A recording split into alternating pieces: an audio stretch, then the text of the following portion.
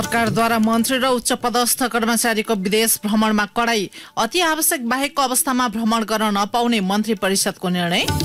उपराष्ट्रपतिका लागि जसपाका उम्मेद्वार यादवलाई समर्थन गर्ने नेपाली कंग्रेसको औपचारिक निर्णय। राष्ट्रपतिमा जस्तै उपराष्ट्रपति निर्वाचनमा पनि राप्रपा तटस्थ बस्ने। प्रतिपक्षी भूमिका खुम्चिएको एमाले संगठन विस्तारमा केन्द्रित आन्तरिक असन्तुष्टि सम्बोधन गर्ने र पार्टी सदस्यलाई उद्यमसँग जोड्ने चुनौती कायमै। पाकिस्तानी पूर्व प्रधानमन्त्री खानलाई पक्राउ गर्ने प्रयास दोस्रो दिन पनि सफल हुन सकेन। आफूलाई पक्राउ गर्न कानून विपरीत गतिविधि भएको खानको आरोप। र महिनौसम्म विवादको दुष्चक्रमा फँसेको नेपाली क्रिकेट आफ्नो लयमा फर्किँदै लिग टूमा पाएको लगातारको सफलतापछि विश्वकप छनौट खेल्ने बलियो सम्भावना। नमस्कार कान्तिपुर डायरीका साथमा साथी नवीन र म पार्वता समाचार अब विस्तारमा। सरकारले अति आवश्यक अवस्थामा बाहेक तत्कालका लागि मन्त्री र अन्य उच्च पदस्थ कर्मचारीको विदेश भ्रमणमा रोक लगाएको छ। मुलुकको अर्थतन्त्र कमजोर भइरहँदा सरकारी अधिकारी विदेश भ्रमणमा हुने खर्चले आर्थिक भार बढ्न सक्ने भन्दै चिन्ता व्यक्त भइरहेका बेला सरकारले उनीहरूको भ्रमणमा कडाई गर्ने निर्णय गरेको हो। मन्त्री परिषदको बैठकको निर्णय सार्वजनिक गर्दै सञ्चार तथा सूचना प्रविधि मन्त्री रेखा शर्माले मन्त्री र उच्च पदस्थ कर्मचारीले अत्यावश्यक बाहेक भ्रमण गर्न नपाउने निर्णय भएको जानकारी दिनुभयो। पूर्व मुख्य सचिव श्री लीलामणि पौडेलको संयोजकत्वमा त्यो एउटा आयोग गठन भएको थियो। उच्च स्तरीय तलब सुविधा आयोग गठन भएको थियो र त्यो आयोगले प्रतिवेदन बुझाएको छ र त्यो प्रतिवेदन कार्यान्वयनको लागि यो बिचमा अलि बढी अब यो विदेश भ्रमणका कुराहरू जति पनि आएका छन्। त्यो विदेश भ्रमणका कुराहरू अत्यावश्यक बाहेक अरू नगर्ने भन्ने एउटा प्रधानमन्त्रीज्यूको एउटा आयोजनामै एउटा छलफल भयो हिजो क्याबिनेट बैठकमा र हिजोको बैठकले नेपाल सरकारका मन्त्रीहरू र अन्य उच्च पदस्थ कर्मचारीले अब उपरान्त अति आवश्यक अवस्थामा बाहेक विदेश भ्रमण नगर्ने भन्ने एउटा निर्णय भएको छ। त्यस्तै मन्त्री परिषदले पूर्व मुख्य सचिव लीलामणि पौड्यालको संयोजकत्वमा गठित उच्च स्तरीय तलब सुविधा आयोगको प्रतिवेदन कार्यान्वयनका लागि काम अघि बढाउने निर्णय गरेको छ। त्यसका लागि प्रधानमन्त्री तथा मन्त्री परिषदको कार्यालयका सचिवको संयोजकत्वमा कार्यान्वयन सहजीकरण समिति गठन गर्ने निर्णय भएको मन्त्री शर्माले बताउनुभयो। पूर्व मुख्य सचिव श्री लीलामणि पौडेलको संयोजकत्वमा त्यो एउटा आयोग गठन भएको थियो। उच्च स्तरीय तलब सुविधा आयोग गठन भएको थियो र त्यो आयोगले प्रतिवेदन बुझाएको छ र त्यो प्रतिवेदन कार्यान्वयनको लागि प्रधानमन्त्री कार्यालयका सचिवको संयोजकत्वमा सहजीकरण समिति गठन गर्ने भन्ने निर्णय भएको छ। प्रधानमन्त्री कार्यालयका सामान्य प्रशासन प्रशासन हेर्ने सचिवको नेतृत्वमा त्यो सहजीकरण समिति गठन गर्ने भन्ने निर्णय हिजोको मन्त्री परिषदको बैठकले गरेको छ र त्यसलाई कार्यान्वयनको निम्ति त्यसले कार्यतालिका बनाएर सम्बन्धित मन्त्रालय निकायहरूमा त्यसले पठाउनेछ। सरकारले नेपाल र संयुक्त राज्य अमेरिका बीच अध्ययन भिसा शुल्कमा एकरूपता कायम गर्ने निर्णय पनि गरेको छ। यसबीच सरकारले यति एयरलाइन्सको विमान दुर्घटना सम्बन्धी जाँच आयोगको म्याद पैँतालिस दिन थपेको छ। गत माघ एक गते त्रिभुवन विमानस्थलबाट पोखराका लागि उडेको यति एयरलाइन्सको एटिआर विमान सेती नदीको खोजमा दुर्घटनाग्रस्त हुँदा बहत्तर जनाले ज्यान गुमाएका थिए।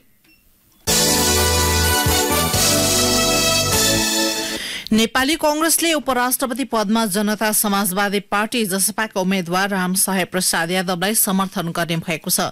आज बिहान बसेको कार्य सम्पादन समिति बैठकले यादवलाई समर्थन गर्ने औपचारिक निर्णय गरेको हो। सत्ता गठबन्धनको अर्को दल जनमत पार्टीले ममता झालाई उम्मेद्वार बनाएपछि कंग्रेसले यादवलाई समर्थन गरेको हो।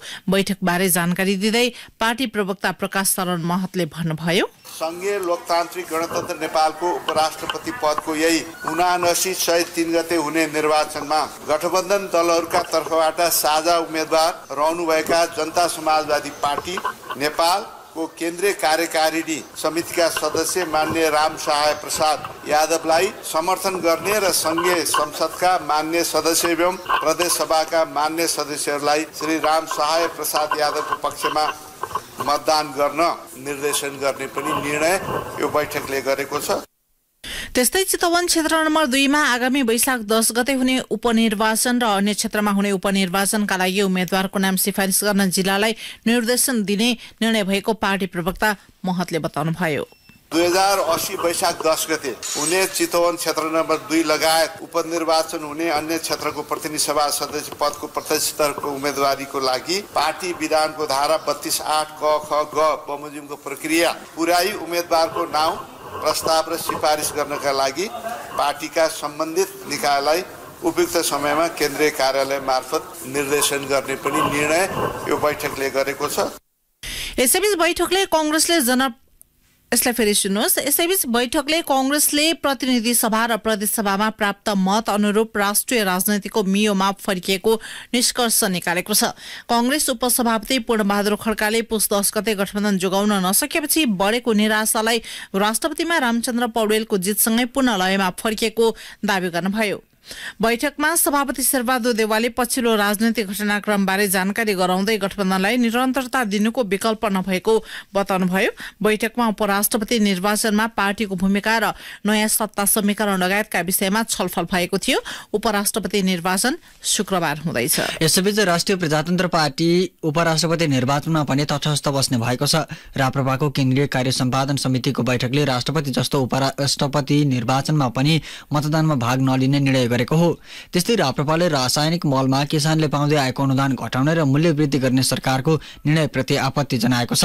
सरकारी निर्णय फिर्ता लिन पार्टीको जिल्ला समितिले सतहत्तर वटै जिल्लाका प्रमुख जिल्ला अधिकारी मार्फत सरकारलाई ज्ञापन पत्र बुझाउन लगायत विरोध कार्यक्रम गर्ने निर्णय भएको प्रवक्ता मोहन श्रेष्ठले जानकारी दिनुभयो। राप्रपाले बैङ्कको अस्वाभाविक ब्याजदरको विषयमा आन्दोलनरत व्यवसायको माग तत्काल सम्बोधनका लागि सरकारसँग माग समेत गरेको छ।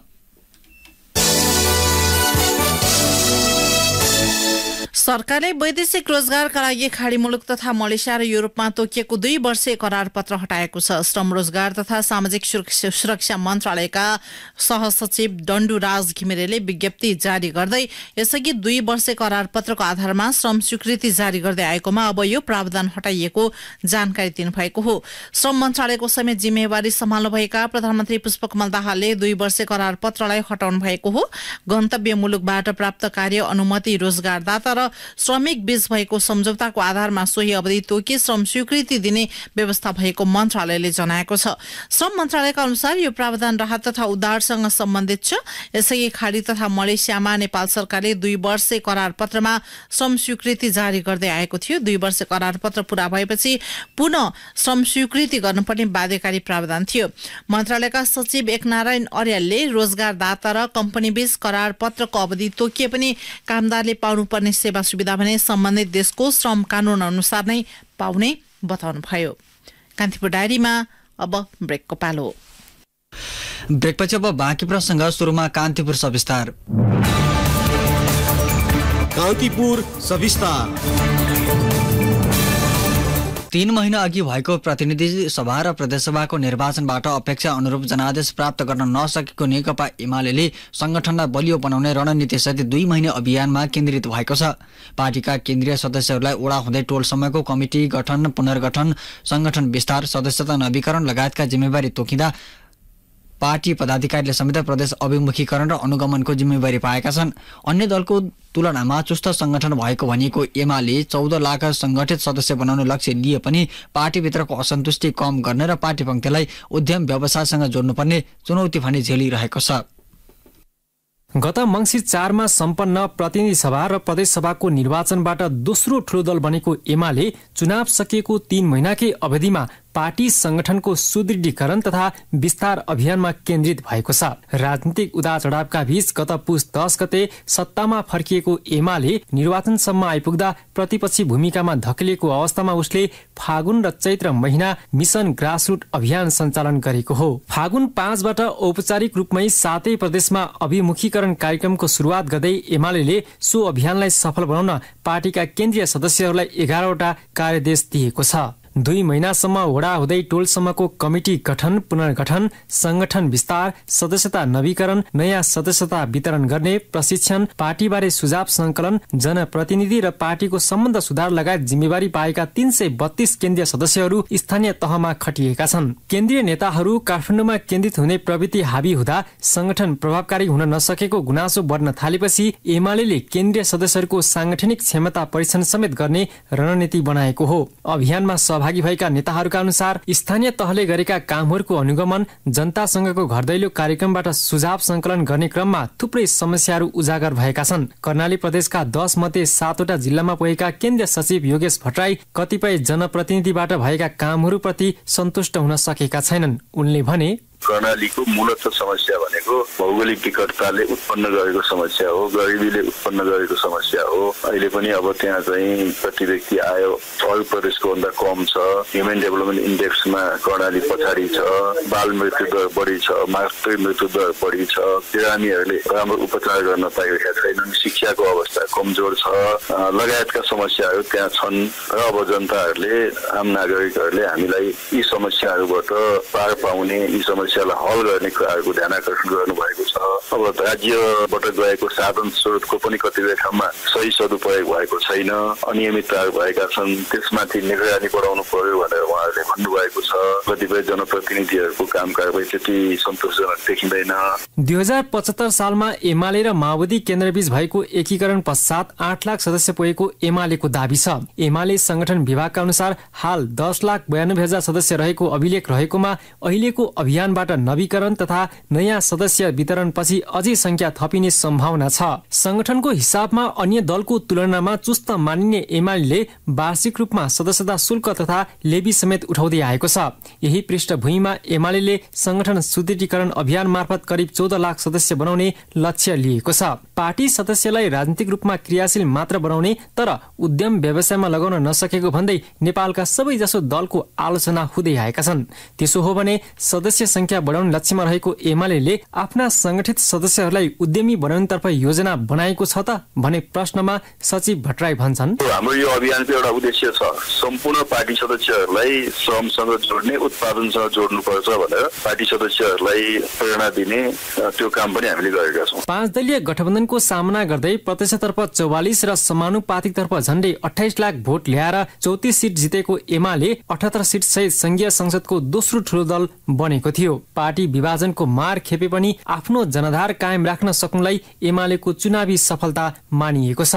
चुनाव सकिएको तीन महिनाकै अवधिमा संगठनलाई अझ विस्तार गर्ने तयारीमा जुटेको एमाले यतिखेर प्रतिपक्षीको भूमिकामा छ। त्यसैले सरकारमा रहँदा होस् वा नरहँदा पार्टीमा जोडिएका युवा पंक्तिलाई सक्रिय बनाउन आफूहरू केन्द्रित भएको नेताहरूले बताएका छन्। अभियानका लागि कोशी प्रदेश अन्तर्गत ताप्लेजुङ जिल्लाको जिम्मेवारी पाएका खगेन्द्र राई भन्छन्। दलाल पुँजीपति वर्गबाट चाहिँ हाम्रो कस्तो छ भन्दाखेरि हाम्रो युवाहरू चाहिँ एक किसिमले आर्थिक रूपले भ्रष्ट बनाउने कुरा महिलाहरूलाई चाहिँ भ्रष्ट बनाउने कुरा एउटा पुस्तै खतम बनाउने कुरा छ कि यो यो देखिरहेको छ। त्यसो र युवाहरूलाई कसरी हामीले चाहिँ उद्यमी बनाउने हो। महिलाहरूलाई कसरी उद्यमी बनाउने हो कसरी राष्ट्र निर्माणमा चाहिँ सारा युवा शक्तिहरू जो दिनकै अब चौध पन्ध्र हजार लाइन लागेर जाने युवाहरू छन् यो भाषण गरेर हुने कुरा होइन।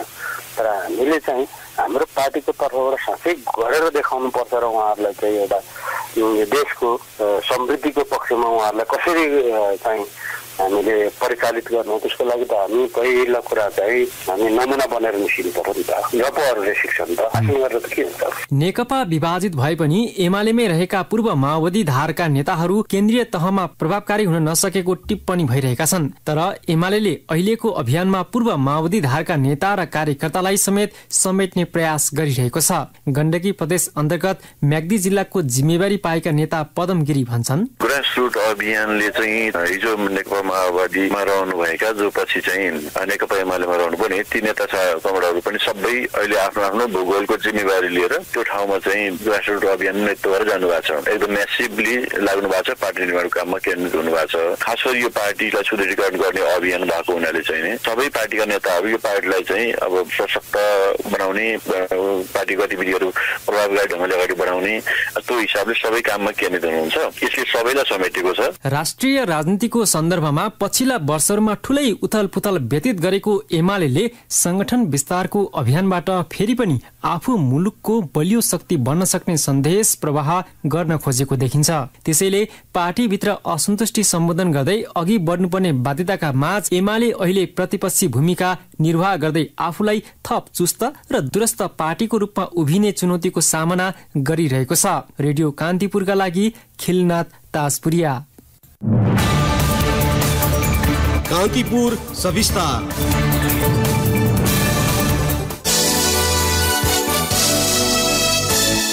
निर्माणाधीन महेन्द्र राजमार्ग अन्तर्गत पूर्वी नवलपरासीको कावस्वती जंगल क्षेत्रमा कालोपत्रेको काम शुरू भएको छ। कावस्वती र लोकाहा बीचको जंगल क्षेत्रमा पाँच सय मिटर सड़क कालोपत्रे गरिएको हो। सड़क सड़क निर्माणमा संलग्न इन्जिनियर राकेश शाहले निर्माण कार्य जारी रहने र एक साताभित्र करिब चार किलोमिटर सड़क कालोपत्रे गरिसक्ने जानकारी दिनुभयो। राजमार्गको उत्तरतर्फको साढे सात मिटर फराकिलो सड़क मात्र पहिलो चरणमा कालोपत्रे गरिएको हो। यस्तै सड़क निर्माणको जिम्मा पाएको चिनिया ठेकेदार कम्पनी र कावस्वती नगरपालिका बीच आज थप चौतिस हजार घन मिटर ग्राभेल खरिदको सम्झौता भएको छ। लोकाहादेखि पश्चिम केरुङ्गे खोलासम्मको क्षेत्र कालोपत्रे गर्न थप एक लाख घन मिटर ग्राभेल आवश्यक पर्ने निर्माण कम्पनीले जनाएको छ। महेन्द्र राजमार्ग अन्तर्गत बुटवल नारायणगढ़ खण्डको एक सय चौध किलोमिटर सड़क फराकिलो पार्न चिनिया ठेकेदार कम्पनीले सत्र अर्ब रुपियाँमा ठेक्का पाएको थियो। गत साउन बाइस गते सड़क निर्माणको काम सम्पन्न गरी नेपाल सरकारलाई हस्तान्तरण गर्नुपर्ने सम्झौता थियो तर सो अवधिमा सड़क निर्माणको काम जम्मा उन्नाइस प्रतिशत मात्र सम्पन्न भएका कारण एक वर्ष म्याद थपिएको छ।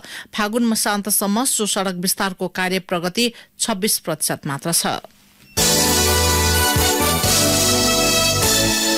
मध्यपश्चिम विश्वविद्यालय सुर्खेतमा स्वतन्त्र विद्यार्थी युनियन सोभिको निर्वाचन स्थगित भएको छ। चैत तीन गते हुने भनिएको चुनाव स्थगित भएको हो। विश्वविद्यालय अन्तर्गतको स्कुल अफ म्यानेजमेन्टका विद्यार्थीले मतदानबाट वञ्चित गराइएको भन्दै उच्च अदालतमा रिट दायर गरेका थिए। उच्च अदालत सुर्खेतले अर्को आदेश नभएसम्म सोभि निर्वाचन स्थगित गर्न आदेश जारी गरेको छ। चैत्र आठ गते दुवै पक्षलाई उच्च अदालतमा उपस्थित हुन अदालतले आदेश जारी गरेको छ।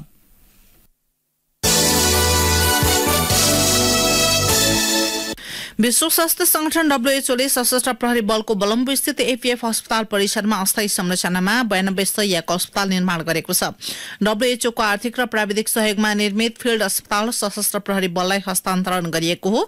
सो प्रकृतिको संरचना डब्ल्यूएचओले दक्षिण एसियामै पहिलो पटक नेपालमा निर्माण गरेको जानकारी दिएको सशस्त्र प्रहरीका सहायक प्रवक्ता शैलेन्द्र थापाले बताउनुभयो। खास गरी भूकम्प महामारी अन्य विपत्ति लगायत आपतकालीन अवस्थामा बढ़ी प्रयोग हुने बताइएको छ। कान्तिपुर डायरीमा अब तनहुँ डायरीको पालो। तनहु डायरीबाट। सम्झना र शैलीको नमस्कार। नेपाल घरेलु तथा साना उद्योग महासंघ महिला उद्यमी तनहुले दमौलीमा ब्यास कोसेली घर सञ्चालनमा ल्याएको छ। ब्यास नगरपालिका तीन मालपोत लाइनमा सञ्चालन गरिएको सो कोसेली घरमा घरेलु उद्योगबाट उत्पादित वस्तुदेखि तनहुको मुख्य उत्पादन माछ पिडालुदेखि वन जङ्गलमा पाइने गिट्ठा भ्याकुर राखिएको छ। स्थानीय स्तरका कृषि उपज र साना उद्यमीको उत्पादनलाई सुपथ मूल्य र सहज बजारीकरणका लागि कोसेली घर सञ्चालनमा ल्याइएको महिला उद्यमी तनहुकी अध्यक्ष कल्पना गौलीले बताउनुभयो। तनहुको शुक्ला गण्डकी र भिमाद नगरपालिकामा सोह्र लिफ्ट सिंचाई योजना सम्पन्न गरिएको छ। शुक्ला गण्डकी दसको लोकेटी टार र भिमाद सातको सिस्नेरी स्थित ठुलो फाँटमा सोलरको माध्यमबाट पानी लिफ्ट गरी सिंचाईको व्यवस्था गरिएको हो। निर्माण सम्पन्न गरी योजना उपभोक्तालाई हस्तान्तरण गरिएको जलस्रोत सिंचाई विकास डिभिजन कार्यालयका प्रमुख रेशमराज शर्माले बताउनुभयो। तनहुको आफूखैरेनी गाउँपालिकाले कार्यपालिकाको बैठक भत्ताबाट स्वयंसेवक शिक्षकलाई तलब खुवाउने गरिएको छ। चालु आर्थिक वर्षबाट बैठकको भत्ताले शिक्षकलाई तलब खुवाउने गरिएको गाउँपालिकाका प्रमुख प्रशासकीय अधिकृत विष्णु प्रसाद शर्माले जानकारी दिनुभयो। गाउँपालिकाले प्रति महिना बिस हजार रुपियाँ तलब खुवाउने गरी तेह्र जना स्वयंसेवक शिक्षक नियुक्त गरेको छ। तनहुको म्याग्दे गाउँपालिकाले पालिका भित्रका विभिन्न एक सय साठी स्थानको माटो परीक्षणका लागि नमुना संकलन गरेको छ। गाउँपालिकाको सातवटै ओडाका ती स्थानबाट माटो नमुना संकलन गरिएको गाउँपालिकाका कृषि शाखा प्रमुख रुखमिता घिमिरेले बताउनु भयो उहाँका अनुसार साठीवटा नमुना माटोको रिपोर्ट प्राप्त भइसकेको छ। हस्त तनौ डायरी आजलाई यति नै। सम्झना र शैली बिदा हुन्छु। नमस्कार। तनहुँ डायरीपछि कान्तिपुर डायरीमा पुनः ब्रेकको पालो। अब आर्थिक प्रसङ्ग नेपाल विद्युत प्राधिकरणले चालु आर्थिक वर्षको पहिलो सात महिनामा वितरणतर्फको विद्युत चुहावट छ सात दशमलव नौ नौ प्रतिशतमा सीमित भएको जनाएको छ। नियमित रूपमा विद्युत आपूर्ति प्राविधिक तथा गैर प्राविधिक चुहावट नियन्त्रणका लागि सञ्चालन गरिएका अभियानबाट प्राधिकरणले गत वर्षको माघसम्म वितरणतर्फको सञ्चित चुहावटको तुलनामा यस वर्ष एक दशमलव छ छ प्रतिशतले घटाएको हो। गत वर्ष माघसम्मको वितरणतर्फ विद्युत चुहावट नौ दशमलव छ पाँच प्रतिशत थियो। यस वर्षको माघमा गत वर्षको सोही महिनाको तुलनामा वितरणतर्फको चुहावट तीन दशमलव नौ आठ प्रतिशतले घटेर चार दशमलव आठ नौ प्रतिशतमा सीमित भएको प्राधिकरणले जनाएको छ। प्राधिकरणका अनुसार समग्र विद्युत चुहावट माघसम्म बाह्र दशमलव पाँच नौ प्रतिशतमा सीमित भएको छ। गत असारसम्ममा समग्र प्रणालीको चुहावट पन्ध्र दशमलव तीन आठ प्रतिशत थियो। सात महिनाको अवधिमा चार करोड़ अन्ठाउन्न लाख युनिट विद्युत चुहावट भएको प्राधिकरणको तथ्याङ्क छ। विकास निर्माणका लागि सरकारले गर्ने पुँजीगत खर्च चालु आर्थिक वर्षको आठ महिना सकिँदा बाइस प्रतिशतमा खुम्चिएको छ। विकास निर्माण आयोजनामा खर्च गर्नका लागि सरकारले यो वर्ष तीन खर्ब अस्सी अर्ब बजेट विनियोजन गरेकोमा फागुन मसान्तसम्म बाइस दशमलव एक पाँच प्रतिशत अर्थात् चौरासी अर्ब पच्चिस करोड रुपियाँ मात्रै खर्च गर्न सकेको छ। अबको चार महिनामा करिब अठहत्तर प्रतिशत खर्च गर्नुपर्ने दावीका बीच बजेट कार्यान्वयन गर्ने निकाय अर्थ मन्त्रालय नेतृत्वविहीन छ। नयाँ सत्ता गठबन्धनमा सहमति भएर मन्त्रीमण्डल कसले कहिलेसम्म विस्तार हुने भन्ने टुङ्गो लाग्न सकेको छैन। राजनैतिक अस्थिरताको मार विकास निर्माणसँग सम्बन्धित आयोजनामा परेको छ। अब अन्तर्राष्ट्रिय लाहौरको एक अदालतले पाकिस्तानका पूर्व प्रधानमन्त्री इमरान खानलाई भोलि बिहान दस बजेसम्म पक्राउ गर्न नसकिने आदेश दिएको छ। अदालतको सो आदेश आएसँगै लाहौर स्थित खानको घर वरपरबाट सुरक्षा बलहरू फिर्ता भएको अल जजिराले जनाएको छ। यही घटनाक्रमका कारण खानलाई पक्राउ गर्ने पाकिस्तानी प्रहरीको प्रयास अझ पनि सफल हुन सकेन। प्रधानमन्त्री हुँदा विदेशी नेताहरूले दिएको राज्य उपहार बेचेको आरोपमा खानलाई राजधानी इस्लामाबादबाट प्रहरीले दोस्रो दिन पनि पक्राउ गर्न खोजेको थियो। यसैबीच पाकिस्तानका प्रमुख विपक्षी नेता इमरान खानले अधिकारीहरूले आफूलाई पक्राउ गर्ने प्रयासमा कानूनभन्दा बाहिरको काम गरे- गरिरहेको बताउनु भएको छ। पूर्व प्रधानमन्त्री खानको निवास बाहिर उहाँका समर्थक र प्रहरीबीच झडप भएपछि विपक्षी नेता खानको भनाइ सार्वजनिक भएको हो। उहाँले आफूमाथि लागेको मुद्दा राजनैतिक प्रेरित भएको आरोप लगाउनु भएको छ। प्रमुख विपक्षी नेता खानले आफ्नो पार्टीलाई आगामी निर्वाचनमा सहभागी हुन नदिन अधिकारीहरूले पक्राउ गर्न खोजेको आरोप समेत लगाउनु भएको छ। अब खेल प्रसङ्ग नेपाल क्रिकेट सङ्घ क्यानभित्रको आन्तरिक विवाद राष्ट्रिय क्रिकेट टोलीका खेलाडी बीचको टकराव छोटो समयमै मुख्य प्रशिक्षक र कप्तान परिवर्तन तथा लगातारको असफल नतिजाका कारण धर्मरायको नेपाली क्रिकेटले पछिल्लो समय लयमा देखिन्छ। नेपाली क्रिकेटका लागि गत महिनासम्म स्थिति हरेक दृष्टिकोणले प्रतिकूल थियो। नेपालले एक दिवसीय अन्तर्राष्ट्रिय मान्यताको हैसियत जोगाउन सक्नेमा क्रिकेट प्रेमीहरूले नै शङ्का गरी गरिरहेका छन्। तर एक महिनाको बीचमा नेपाली क्रिकेटको नतिजा फेरिएको मात्रै छैन। विश्वकप छनौट खेल्ने सम्भावना बलियो बनाएको छ। चार साता अघिसम्म के नेपाली क्रिकेटले एक दिवसीय अन्तर्राष्ट्रिय मान्यता जोगाउन सक्ला भन्ने जिज्ञासा र आशंका मिश्रित प्रश्नको सामना गरिरहेको थियो। तर यही चार साताभित्र नेपाली क्रिकेटले अपत्यारिलो नतिजा निकाल्दै एक दिवसीय मान्यता मात्रै कायम राखेन। आइसिसी विश्वकप लिग टूको ग्लोबल छनौटमा शीर्ष तीन भित्र पर्दै सोझै विश्वकप छनौट हुने आधार बनाएको छ र त्यसका लागि एक मात्र जितको खोजीमा छ। फागुन दुईदेखि नौ गतेसम्म घरेलु मैदानमा नामिबिया र स्कटल्याण्ड सम्मिलित आइसिसी विश्वकप लिग टू श्रृंखलाको सातौं सिरिजमा नेपालले शत प्रतिशत नतिजा निकाल्यो। सो सिरिज अन्तर्गतका चारै खेल जित्दै नेपालले विश्वकप लिग टूमा अहिलेसम्मकै उत्कृष्ट प्रदर्शन गर्यो। नेपालले लिग टूको श्रृंखला क्लिन स्वीप गरेको यो पहिलो पटक हो। फागुन दुईमा नामिबियालाई दुई विकेटले हराउँदै नेपालले ऐतिहासिक जित मात्रै दर्ता गरेन। त्यसका साथै नेपालले पाँच कीर्तिमान बनाए। ओडिआईमा नामिबियालाई हराउनु नै नेपालको पहिलो कीर्तिमान हो। यस्तै ओडिआई क्रिकेटमा नेपालले पूरा गरेको दुई सय सतासी रनको लक्ष्य अहिलेसम्मकै सर्वाधिक ठूलो योगफल हो। सोही खेलमा कुशल भुर्तेलले उनान्सय बलमा आफ्नो ओडिआई करियरको पहिलो शतक पूरा गरे भने रोहित पौडेल र कुशल भुर्तेलले एक सय तेत्तीस रनको शतकीय कीर्तिमानी साझेदारी गरे। ओडिआईमा नेपालबाट बनेको यो उच्च साझेदारी हो। अर्को कीर्तिमान कप्तान रोहित पौडेलको नाममा रह्यो। उनी ओडिआई क्रिकेटमा एक हजार रन पूरा गर्ने पहिलो नेपाली खेलाडी बने। ये करण केसीले कीर्तिमानी पाँच विकेट लिए। क्रिकेट में पाँच विकेट, तीन पटक लिने करण पहिलो नेपाली खेलाडी बने। सो सिरिजमा बलर सन्दीप लामिछानेले सर्वाधिक तेह्र विकेट लिए। यो नतिजाले नेपालको एक दिवसीय मान्यता जोगाउने आधार तय गरेको थियो। त्यसपछि फागुन तेह्रबाट युएईमा पपुवा न्युगिनी र युएई सम्मिलित आइसिसी विश्वकप लिग टू श्रृंखलाको आठौं सिरिजमा पनि नेपालले खेलेका चार मध्ये तीन खेल जित्दै उत्कृष्ट प्रदर्शन गर्यो। नेपालले विदेशी भूमिमा खेलेको लिग टूको एकै श्रृंखलामा पहिलो पटक तीन खेल जित्यो। पपुवा न्युगिनी विरुद्धको दुवै खेल जितेको नेपालले युएई सँगको एक खेल जित्दा अर्कोमा हार बिहोर्यो। तर लिग टूमा युएई माथि नेपालले पहिलो जित भने निकाल्न सफल भयो। युएई सिरिज अन्तर्गत पपुवा न्युगिनी विरुद्ध नेपाल चार विकेटले विजयी भयो। सो खेलमा ओपनर आसिफ शेख र कुशल भुर्तेलले पहिलो विकेटका लागि चार दशमलव पाँच ओभरमा छत्तर रनको साझेदारी गरे। सिरिज अन्तर्गत युएई विरुद्धको एक खेलमा नेपाल तीन विकेटले विजयी भयो। नेपालको जितमा आसिफ शेखले एक सय तीन बलमा दुई चौका र एक छक्का प्रहार गर्दै सर्वाधिक छयासी रन जोडे। सो खेलमा आसिफ र सन्दीपले सतहत्तर रनको अभिजित साझेदारी गरे। ओडिआईमा यो नेपालबाट आठौं विकेटका लागि बनेको उच्च साझेदारी हो। नेपाल टी ट्वेन्टी लीगका कारण उत्पन्न विवाद, म्याच तथा स्पट फिक्सिङका कारण खेलाड़ीमा देखिएको तनाव, टी ट्वेन्टीमा खराब प्रदर्शन तथा क्रिकेट संघभित्रको विवादका कारण खेलाड़ीहरू मानसिक दबावमा थिए। त्यसैले नेपाली क्रिकेटले उत्कृष्ट प्रदर्शन गर्ने वा श्रृंखलाका सबै खेल जित्ने अपेक्षा कसैमा थिएन। यस्तोमा एक दिवसीय अन्तर्राष्ट्रिय मान्यता जोगाउने चुनौती थियो। तर शत प्रतिशत जित निकाल्दै नेपाली खेलाड़ीले लामो समयपछि ऐतिहासिक प्रदर्शन गर्दै क्रिकेट प्रेमी तथा समर्थकलाई उपहार दिए। फागुन पच्चीसबाट घरेलु भूमिमा जारी पपुवा न्युगिनी र युएई सम्मिलित लिग टू अन्तर्गतको नवौं तथा अन्तिम सिरिजमा पनि नेपालले आफ्नो लय कायम राखेको छ। जारी सिरिज अन्तर्गतका चार मध्ये तीन खेल जितिसकेको छ। पपुवा न्युगिनीलाई पहिलो खेलमा बावन्न रनले हराएको नेपालले दोस्रो खेलमा युएईलाई एक सय सतहत्तर रनको फराकिलो अन्तरले पराजित गर्यो। यस्तै सोमबार पपुवा न्युगिनी विरूद्ध नौ विकेटको शानदार जित निकाल्दै नेपाल ग्लोबल छनौटको एक कदम टाढा छ। नेपालले अब मात्र एक खेल खेल्न बाँकी छ।